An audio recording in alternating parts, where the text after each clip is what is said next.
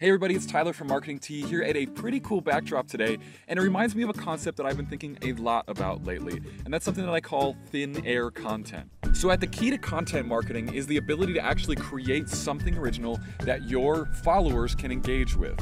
But a lot of marketers out there like to create thin air content, content that comes out of absolutely nothing. Maybe it's purely graphic content, maybe it's based on stock photos.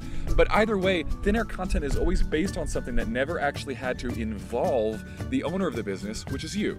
One of the things that makes us so unique at Marketing Tea is our content sessions, where we travel across the country and film and photograph, create content with all of our clients. And it's been important to us since the very beginning that we're creating genuine, original content that actually features our clients. So instead of pulling content out of thin air, it's always been important that we have something that's actually custom, something created for our clients that is about them, that has their message, and that involves them in a certain way. There is an appeal to thin air content. It makes it seem like you could have an amazing marketing strategy that just appears out of nowhere.